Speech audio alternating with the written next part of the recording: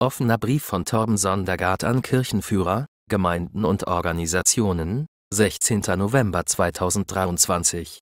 Dieser offene Brief wurde auf Dänisch verfasst, wobei der Schwerpunkt auf Dänemark liegt. Da das Land jedoch viel größer ist als Dänemark und Menschen auf der ganzen Welt beeinflusst hat, haben wir beschlossen, ihn ins Englische zu übersetzen. Ich bete, dass dieser Brief möge mit offenem Herzen empfangen. Mir ist klar, dass es nach allem, was passiert ist, möglicherweise nicht einfach ist, diesen Brief von mir zu erhalten. Ich möchte auch nicht als jemand ohne Fehler wirken. Mir ist bewusst, dass ich vieles anders hätte machen können, was ich natürlich bedauere. Ich schreibe dies als einen Hilferuf und hoffe, dass einige erfahrene Kirchenführer in Dänemark uns helfen werden, der Sache gemeinsam auf den Grund zu gehen. Die Hoffnung, dass durch die Aufdeckung der Lügen Verständnis, Vergebung und Versöhnung entstehen können. Alles zum Wohle des Königreiches Gottes in unserem Land.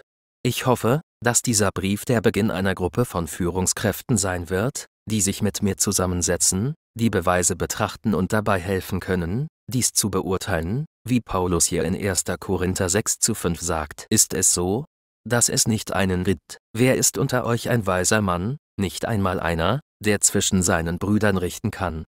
Das Zitat, das wir gerade gelesen haben, stammt aus dem ersten Brief von Paulus an die Gemeinde in Korinth, in dem er darüber schreibt, dass sie sich als Brüder nicht gegenseitig strafrechtlich verfolgen sollten. Ja, wie werden sie eines Tages in der Lage sein, die Welt zu beurteilen, wenn sie nicht einmal untereinander urteilen können?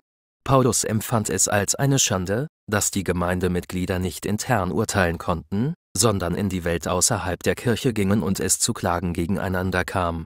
Lesen Sie gerne selbst 1. Korinther, Kapitel 6.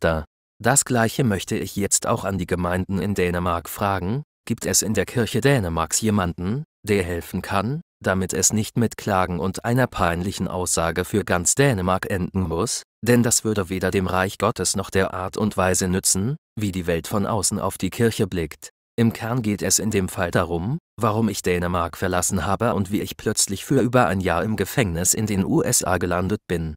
In dem Fall geht es auch um die Lügen, denen ich seit vielen Jahren ausgesetzt bin und die sich in der Kirche in Dänemark verbreitet haben. Bisher habe ich es mehrere Jahre lang zulassen und alles Gott übergeben und mich stattdessen auf das Gute konzentriert, das er tut. Dass ich nun verrate, was vorgefallen ist, liegt keineswegs an Verbitterung oder Rachegelüsten, ganz und gar nicht. Ich habe gelernt, meinen Feinden zu vergeben, so wie Jesus mich und alle, die ihm folgen, berufen hat. Aber diese Lügen haben eine ganz andere Ebene erreicht und sich auf kriminelle Handlungen ausgeweitet, wie zum Beispiel das Lügen gegenüber den dänischen Behörden, dem FBI, dem Heimatschutz und so weiter. Diese Lügen hatten enorme Konsequenzen für meine Familie, das Ministerium und mich selbst. Was passiert ist, ist so beschaffen, dass die übliche Vorgehensweise für uns darin bestehen würde, rechtliche Schritte gegen die Beteiligten einzuleiten. Ich denke insbesondere an einen Sohn eines Pfingstpastors, genannt X, im Originalschreiben wird er namentlich genannt, ich verzichte hier darauf. X ist der Haupttäter hinter vielen Dingen, die in Dänemark passiert sind, und der Hauptgrund, warum ich in den Vereinigten Staaten im Gefängnis gelandet bin. Wenn ich seinen Namen zum ersten Mal öffentlich erwähne, dann deshalb, weil wir beschlossen haben, noch einen Schritt weiter zu gehen.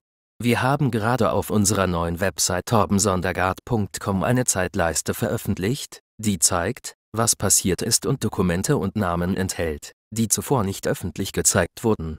Wie Sie auf der Zeitleiste lesen können, versuchte X viele Jahre lang, nachdem wir gezwungen waren, ihn zu entlassen, gezielt, mich und unseren Dienst durch Manipulation, Lügen und Täuschung zu zerstören. Durch seinen Vater, den Pfingstpastor hat er auch viele in der Leitung des dänischen Kirchenlebens beeinflusst.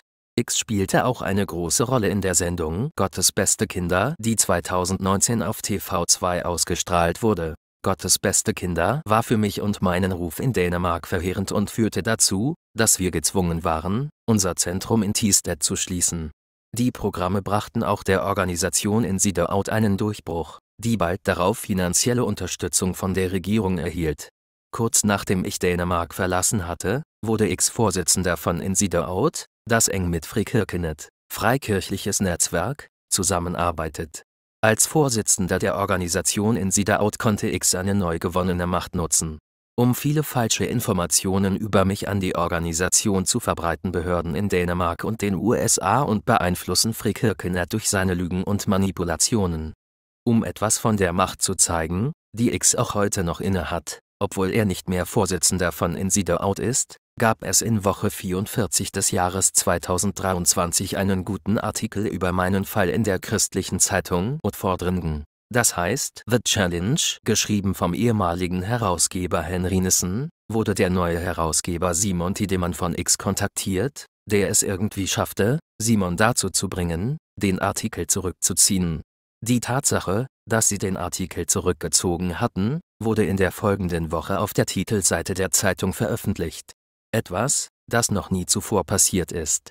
Dies geschah, obwohl wir X nicht namentlich erwähnten und obwohl wir für jede Behauptung im Artikel eine Dokumentation haben. Unser Anwalt hat den Artikel auch vor der Veröffentlichung durchgelesen, um sicherzustellen, dass nichts Falsches gesagt wurde.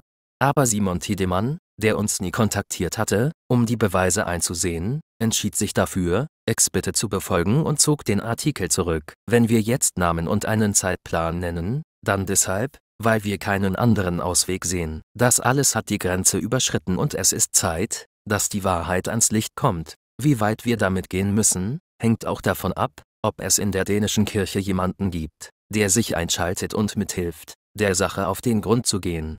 Weil sich dies durch X auf die Regierung und die Führung von Frikirkenet ausgeweitet hat. Es ist jetzt an der Zeit, dass wir alles aufräumen, was schon so viele Jahre passiert ist, Dinge, die immer noch passieren. Ich würde es vorziehen, wenn wir dies intern innerhalb der Kirche regeln könnten. Das liegt daran, dass wir glauben, dass es das Beste für das Reich Gottes ist. Wenn wir es intern nicht lösen können, sehe ich leider keinen anderen Ausweg, als es öffentlich darzulegen und vor Gericht zu gehen.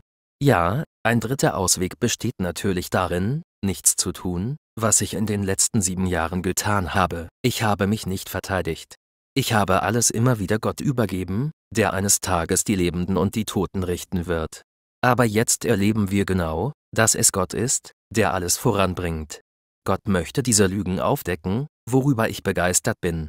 Er hat die Tür zu einem starken Rechtsteam geöffnet, und wir sitzen heute mit vielen Beweisen dafür, was passiert ist und wer daran beteiligt war. Ich glaube, dass Gott einen Großteil davon intern in der Kirche regeln möchte, damit wahre Reue und Vergebung eintreten können, und dass wir gemeinsam daraus lernen müssen. Wie gesagt, auch ich bin an dem, was ich geschrieben habe, nicht unschuldig und habe in dieser Zeit viel gelernt. Abschließend möchte ich sagen, dass ich Dänemark, auch wenn ich keine Zukunft für uns sehe, immer noch sehr liebe. Unser Gebet ist, dass dies ein Neuanfang für unser Land sein möge. Teilen Sie diesen Brief gerne mit Pastoren, Kirchenleitern, Kirchen und Organisationen. Sie können mich unter info@torbensondergaard.com kontaktieren. Gott segne Sie, Torben Sondergaard.